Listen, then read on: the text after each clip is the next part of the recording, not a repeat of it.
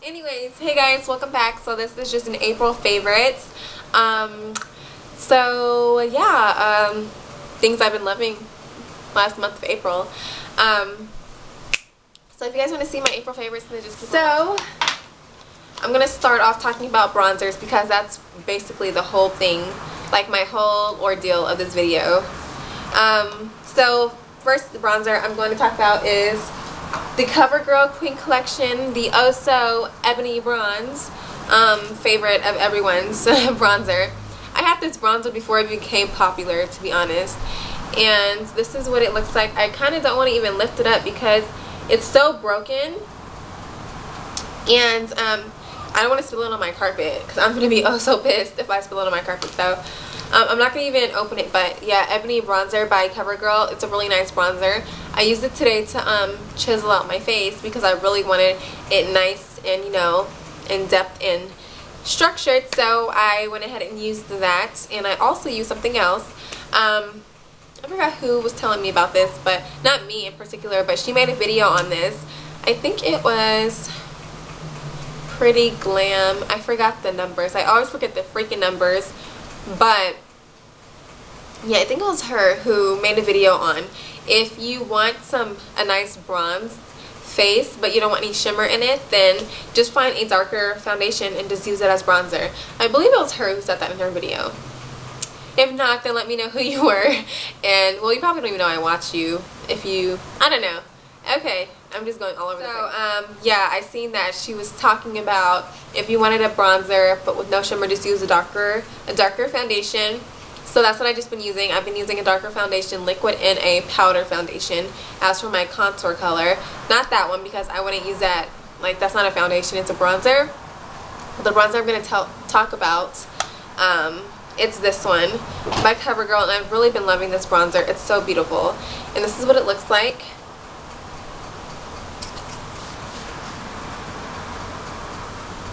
And it's in um, medium deep. Love this bronzer. It's so pretty and it has no shimmers in it. It's a foundation actually, but I'm using it as a bronzer. And I didn't use it today because I couldn't find it, but um, I've been using it in my other videos, like my, um, that video, when I had the blue on my eyes, the, the currents video, I think I used it in that video. Yeah, I think I used it in my currents video. I used it in my other videos that I've had before this one. This is what I've been using as my contour color. And I still need to make a video on how to contour and highlight. I don't know why I haven't made one yet, but I'm to get on that. So, yeah, I'm to make a video um, on that. As for bronzing as well, I've been also using, um, I was watching Kandee Johnson's video and she was saying to, um, you know, have a nice flawless face she uses, um, sometimes she uses L'Oreal True Match and I've been using that as my contour uh, liquid foundation and it's really, really nice. Um, so my, you guys all know that I use uh, my Maybelline True Match, um, True Match, my Maybelline Super Stay foundation and this one's in caramel and then I've been using the L'Oreal True Match in Cocoa. So if you guys look at the, the colors, side by side, you can only imagine what it looks like on my face. And it looks really nice. I have to do a separate foundation video because I've changed a lot of things in my foundation routine lately. So a lot of you guys have been commenting on my foundation. So thank you. Glad you guys noticed. I did do something different. Anyway so um, yeah if you want a natural looking bronzed face I would suggest you try a um, darker liquid foundation as well as a powder foundation. But if you don't want to feel like you know you have a lot of products on then just use a liquid foundation followed by your everyday powder. It's gonna look really nice and you're gonna have a really nice contour. Um, as for my foundation I've been using this to set my powder. Oh my gosh to set my powder huh? I've been using this powder to set my liquid foundation.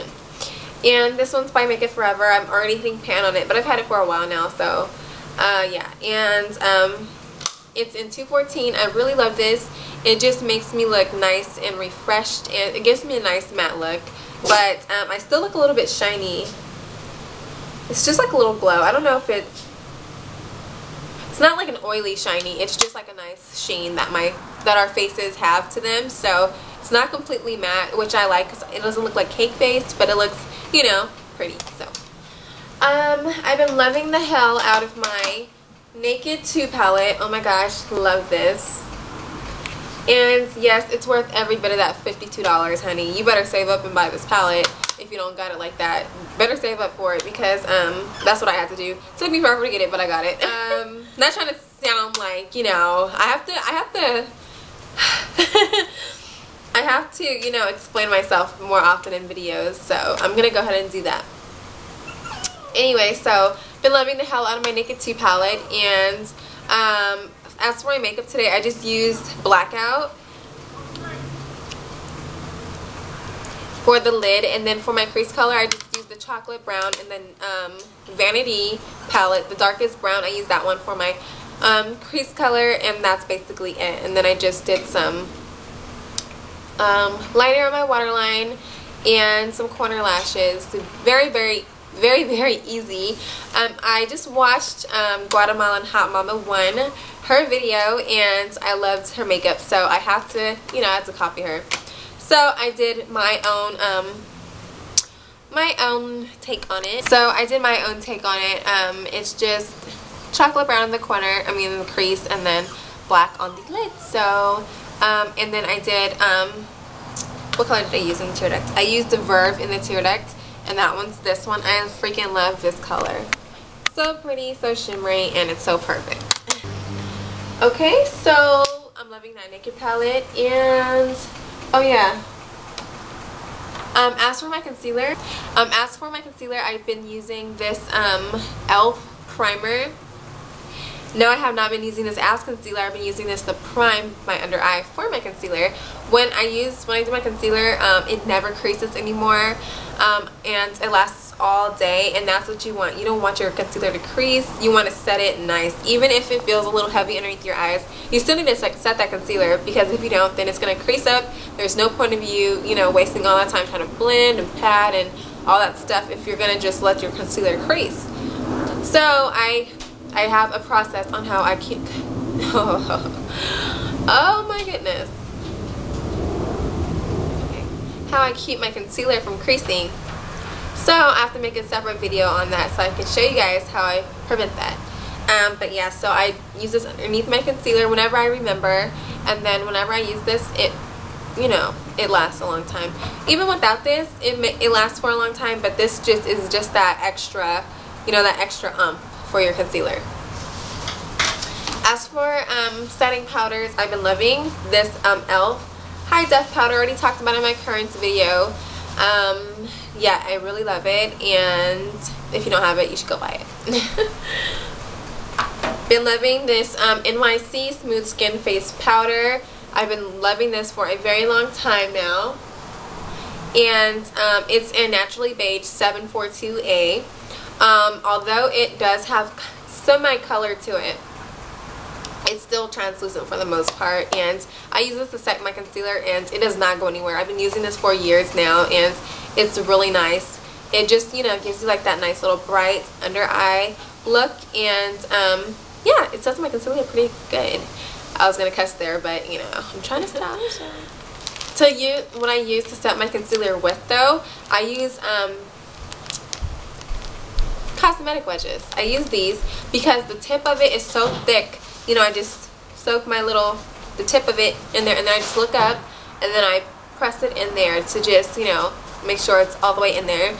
And my concealer doesn't crease, it doesn't move anywhere. So I have to do a separate video on how I prevent my concealer from creasing for those who's having trouble, you know, with creasage. So, that concludes my haul. Oh my gosh, my haul.